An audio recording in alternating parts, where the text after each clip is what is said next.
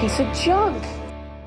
Hello and welcome to another episode of Toys in the Attic and I'm your host Vic. Today I want to do something a little different. We've been opening up the same old boxes of episode 1 figures and I'm thinking I'm going to hit another one of those boxes and nobody wants to see any more of the episode 1 boxes. Nobody wanted to see any more of the episode 1. So I have something a little different today. So I found this box in the Star Wars collection and since I said we collect toys we're to do something different than Star Wars today. We're to celebrate my favorite band as a child, Kiss. So here it is. We got a little surprise for you tonight.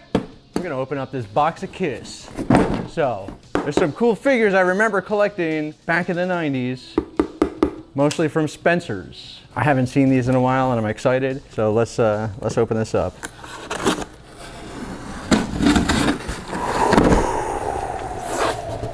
Like we just opened a portal to the 70s.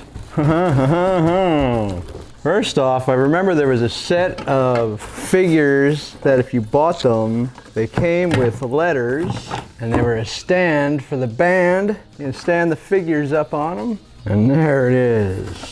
The hottest band in the land, Kiss! Let's see what other goody treasures are in this thing.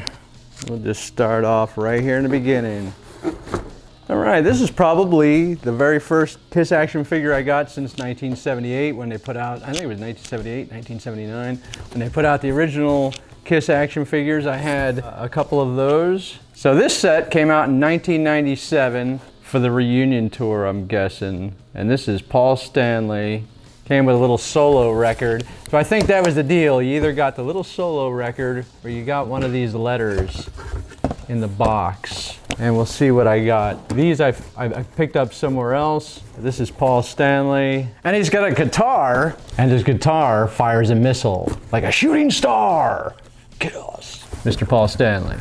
Next out of the box, from Psycho Circus, the drummer, Mr. Peter Criss. that looks cool. He's got that cat face with the fangs and the drum kit. That's cool. I should have broke these out. I could have set this up like a, like a stage. And here we go from Psycho Circus, another Paul Stanley with guitar and stand. So that's two from the Psycho Circus. Three from Psycho Circus. We got a surprise on the microphone tonight, Mr. Ace Frehley. Last but not least, Mr. Gene Simmons, bass player, Kiss, Psycho Circus. Those were really cool figures.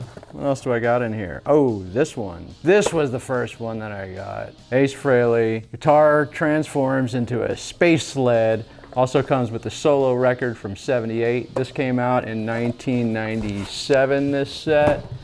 The Psycho Circus, I believe, came out in 98. So that was, each had a set of four. I don't have the other two, but I do have this set of Kiss action figures.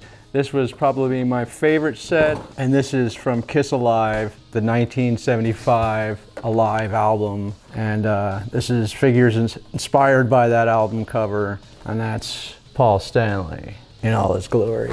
And these guys were just kids back then. Ace Frehley, lead guitar. Gene Simmons. And this is cool because they all come with the amps and the stage gimmick. You got the, the setup where you can have it set up just like a stage. You just need some lighting gear and some roadies. And now our musical guest, Mr. Eugene Simmons.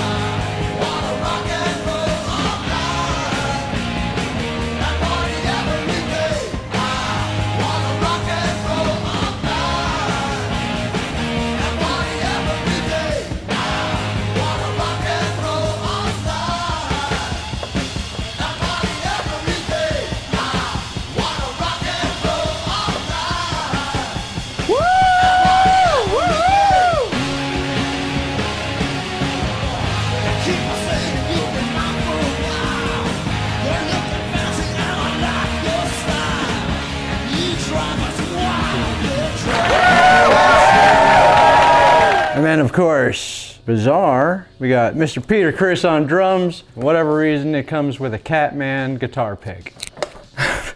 do, do the rest of these come with guitar picks? Yes, they do. Nice. So I got a set of Kiss Alive guitar picks. That's sweet. I'm gonna break these out. Those are too cool to be in plastic. All right, plastic in plastic. It doesn't sound right. They've been in plastic for 20 something years. Let's let them live and breathe. Kiss will live on forever. And the bottom of this box, inside here, from the Kiss Reunion Tour 1996, confetti from rock and roll all night, party every day, end of the show, Kiss confetti, real stuff, Kiss. Thanks for watching. Toys in the Attic, my collection. See you next time.